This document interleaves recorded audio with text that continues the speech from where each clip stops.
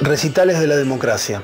El retorno de la democracia significaba aullar sin ataduras, salir de la entre líneas y la metáfora que la cultura rock había diseñado para salvaguardarse. Una escena rockera comenzaba a alzar su voz a través de la palabra directa y en nuestra ciudad diferentes pubs como Maxims y Star, sumado a la apuesta del gobierno al frente del intendente Gustavo Montero, con el apoyo de una militancia joven, comenzaba una ferviente construcción de esos espacios y lazos perdidos. El rock estaba a flor de piel en la agenda del director de cultura Néstor Franciscelli. De esta manera, para celebrar la vuelta democrática, el municipio organizó un festival con bandas y otros espectáculos artísticos, repitiendo el mismo escenario cuando se cumplieron los 100 días democráticos en abril de 1984. En noviembre de ese 1983 saldría a la calle Clicks Modernos con un Charlie García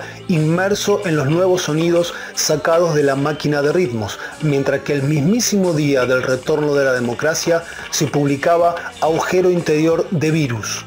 El rock and pop sería la estética y sonido predominante durante la primavera alfonsinista. Pero además, ese 1983 trajo consigo un disco que marcaría muchísimo los 80 en Punta Alta. Hablamos de Luchando por el Metal de B8, quienes en el Barrock del 82 dejaron más que claro que las flores del hipismo debían ser reemplazadas por la rabia contenido en los años de la dictadura. Lo mismo pasaba en los recitales de Riff, donde la violencia y enfrentamientos con la policía era algo que se arrastraba y que todavía se vivía en las racias. Si a principios de la década, en el centro del país, ser rockero subterráneo significaba acudir a recitales del Under en el Café Einstein, el Stad Free Pub o la Esquina del Sol, con la única motivación de dejarse atravesar por nueva información y mantener el estado de ánimo frente a los últimos embates de la dictadura, 1985 llegaría con la explosión de FM Rock and Pop y de dos de las cuevas más impresionantes donde se sentarían las bases para una nueva generación de artistas. Hablamos de Cemento y el Paracultural. Mientras tanto, en Punta Alta, la primavera alfonsinista impulsaba nuevos escenarios como los Parques Sarmiento y San Martín y el balneario Arroyo Parejas, lugares donde entre el 84 y el 87 se realizaron varios festivales que fueron formativos para el caldo rockero de mediados de la década. En ese año orwelliano se retomó la tradicional Fiesta del Sol, que ya se realizaba desde 1980 con la idea original del periodista Luis Hernández. También fue el año en que Ricardo Roth, en bajo, luego de su paso por cuerdas, se uniera a Eduardo Manzana a Navitarte en guitarra, Milciades Marroche en batería, Federico Pachi Rodríguez en teclado y Fabián Toledo en voz para darle forma a Apex, banda de fusión instrumental que duró muy poco. Las letras pertenecían al ex mameluco y artista plástico Omar Sirena, quien al respecto dijo, yo les hice el logo de la banda, porque Apex es el punto hacia donde se dirige la galaxia.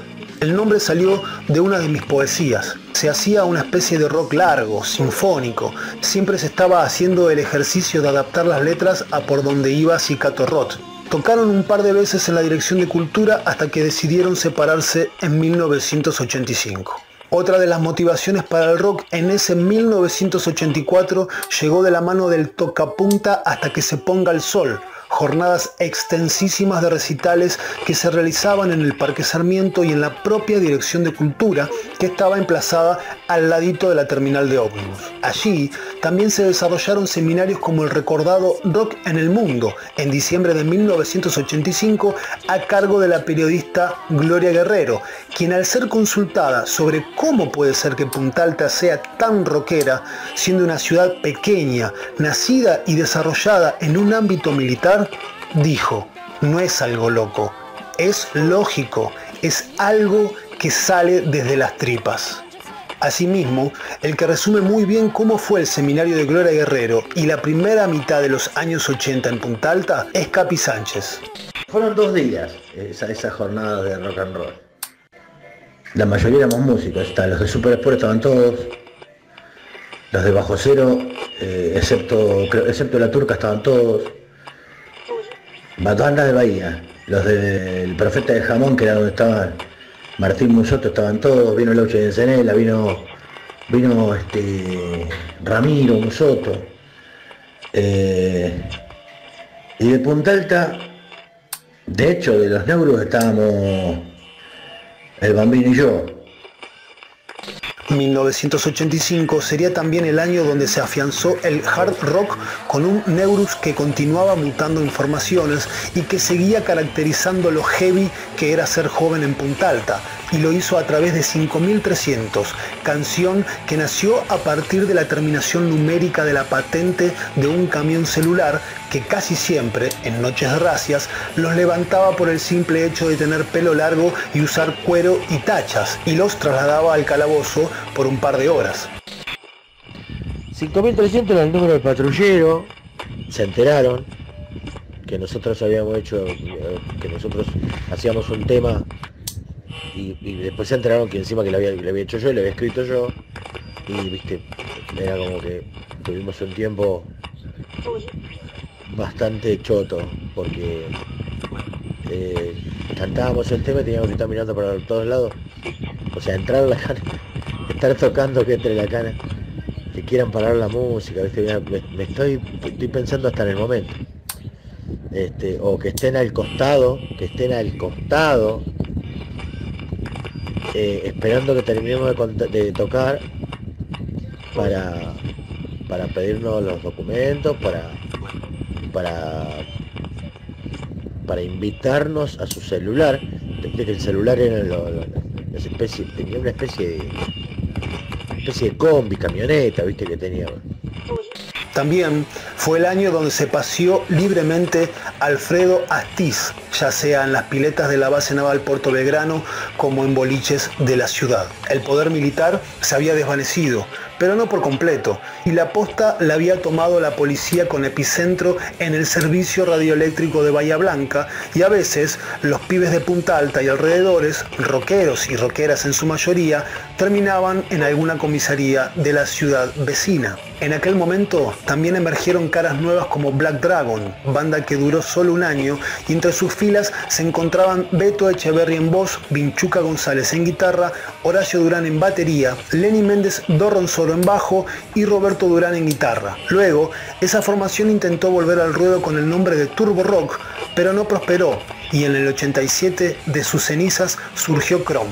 Ya estaban bien demarcadas las influencias como B8, Riff y Iron Maiden. A fines de ese año se organizó el Festival Balneario Municipal Arroyo Parejas, más conocido con el nombre de Balmap dos jornadas en las que se pudo disfrutar de volei, maratón, modelismo en la playa, truco en la cantina y un cierre a puro rock and roll junto a Black Dragon, Neurus y Los Excrementos, una de las primeras bandas punks de Bahía Blanca junto a TNT que fueron el puntapié del punk en nuestra ciudad. Entre los años 85 y 87, Lennon Discotech fue uno de esos reductos donde la movida rockera se afianzaba cada vez más.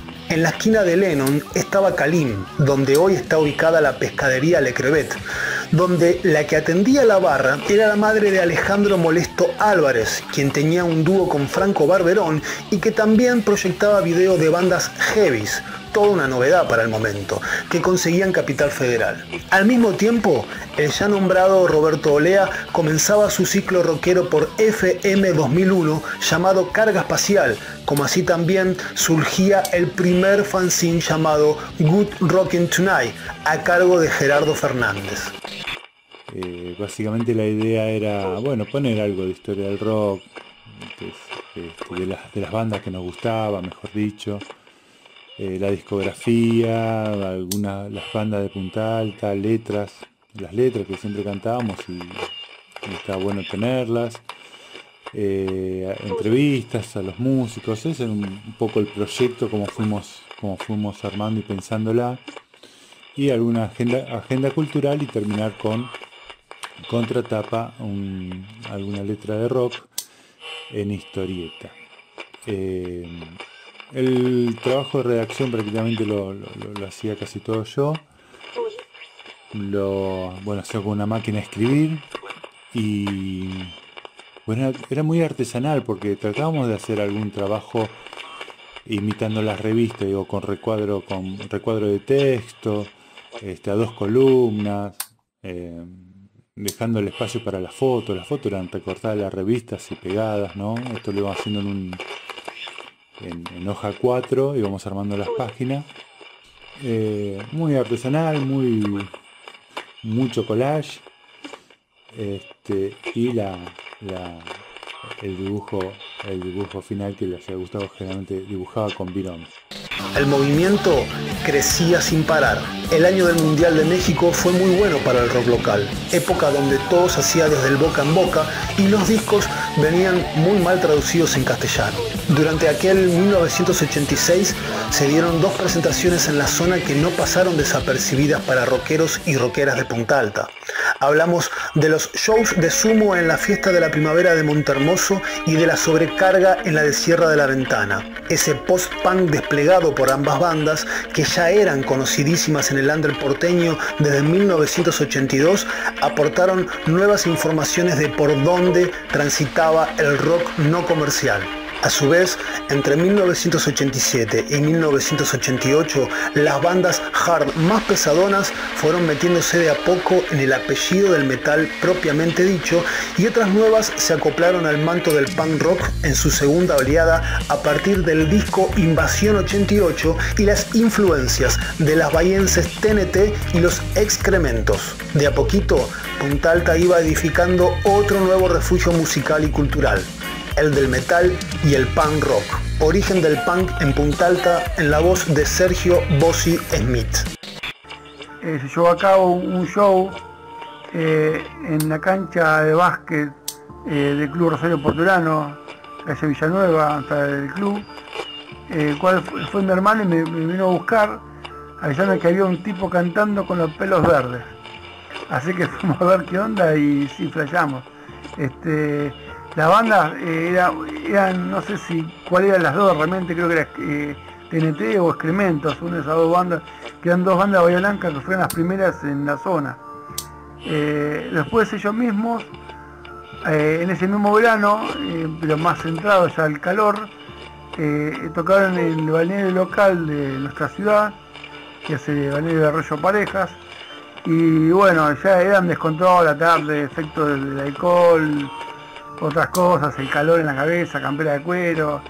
Este, había otras bandas locales que no, recuerdo el nombre.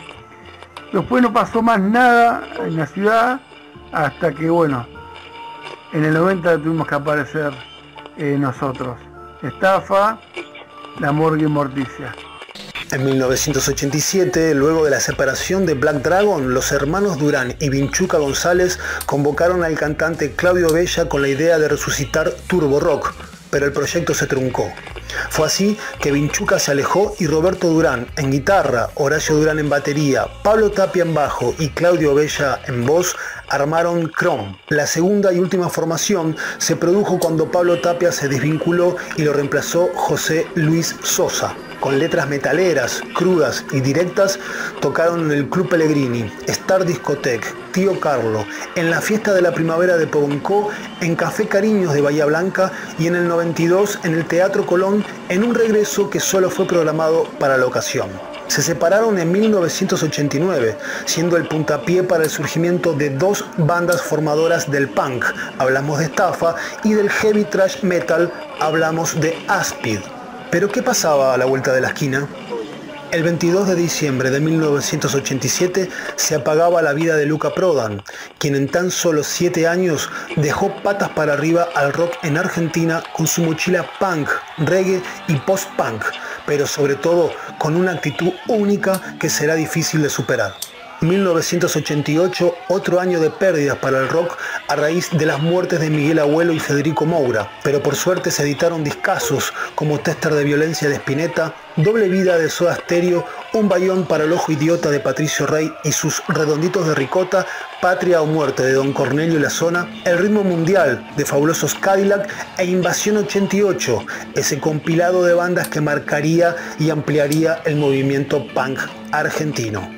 Puesta en valor del Teatro Colón 1987-1988. Por esos años, la cartera de cultura estaba al frente de Carlos Cachurri y el Teatro Colón estaba muy venido abajo. Fue así que el recordado ex intendente Néstor Giorno se puso como objetivo recuperar el lugar, ponerlo nuevamente en valor para comenzar a explotarlo y que vuelva a ser la casa artística del pueblo. El Teatro Colón estaba cerrado cuando nosotros iniciamos nuestra, nuestra gestión, allá por el año 87 y bueno, recuperamos el teatro y bueno, y, el teatro lo recuperamos, lo hicimos desde, el punto de vista municipal, o sea que pagábamos un alquiler a la sociedad italiana y en función de eso eh, nos hicimos cargo de arreglos y un montón de cosas para poder tener un, efector cultural en, la, ciudad. Y no hay nada mejor que el Teatro Colón, que directamente después durante nuestra gestión llevó adelante no solo gente de rock, sino de todo el, quehacer, digamos, de, la cultura y de la música, de la música nacional. Eh, yo, por ejemplo, recuerdo eh, en forma importante cuando actuó el Supay ahí y que directamente los muchachos me, dijo que me dijeron que tenían una acústica bárbara del teatro. Eh, cosa que me llenó de orgullo porque cantaron, incluso cuando hicieron pruebas, eh, lo hicieron a, capela y se escuchaba, de, cualquier lado se escuchaba perfectamente. Verano del 88, Fiesta del Sol en Pehuenco. En enero de 1988, el bajista y cantante rosarino Lalo de los Santos, ex trova rosarina y Pablo el Enterrador, llegaba a la fiesta del sol de la ciudad balnearia de Pehuenco encomendado por Lito Nevia, y lo hizo junto a un seleccionado rosarino de la hostia, Oscar Moro en batería, Adrián Abonicio en guitarra, Tancredo en violín y Víctor Murray en guitarra. Fue Giorno quien a través de la Secretaría de Cultura de la provincia de Buenos Aires pudo llevar a esta banda que se estaba preparando para una gira europea. Dicho show no pudo realizarse en la playa debido al mal tiempo y tuvo que trasladarse al Hotel Kummelkamp. 1989 no tan distintos año de estallidos y cambios si los hay en la historia reciente. Mientras caía el muro en Berlín y de a poco surgía un mundo unipolar, en Argentina la hiperinflación y el aumento de la pobreza daban paso a lo que se conoció como el Pacto de Olivos, la salida anticipada de Alfonsín y la entrada del peronismo en su fase entreguista y privatizadora de la mano de Carlos Saúl. En ese contexto, la cultura under del rock se constituyó alrededor de la reconfiguración del hazlo tú mismo del post-punk, produciendo y distribuyendo el arte en cassette grabados y en los primeros fanzines. Hay que destacar que en Punta Alta el rock más clásico continuaba con algunas bandas como DNI, que ya venían tocando desde 1988, y surgían otras como Viento Azul y Escándalo. Asimismo, en 1988, los fabulosos Cadillac arribaron al boliche Chess, no para tocar, sino para hacer una promoción en una noche que terminó rozando lo heavy peligroso, mientras que en el 89 León Gieco arribó al club altense en lo que terminó siendo una fiesta total, que sirvió para mejoras en un hospital y el levantamiento de los cimientos de una escuela. Cabe señalar que la organización de este show estuvo a cargo de las juventudes de todos los partidos políticos locales, excepto de la UCD. 1989 y 1990 serán recordados como años de resistencia al hambre y la miseria y de discos que reflejaban ese devenir como el primero de Hermética, titulado A secas Hermética, o el debut de Ataque 77 con Dulce Navidad, ambos publicados ese año por el sello discográfico Radio Trípoli. Asimismo, para Punta Alta significó un año bisagra, porque nacieron cuatro bandas que marcarían el camino del rock para la nueva década del 90 en su devenir punk, metal y trash metal. Hablamos de La Morgue, Estafa, Pax y Aspid, pero esa información corresponde al capítulo noventista que ojalá podamos abordar próximamente.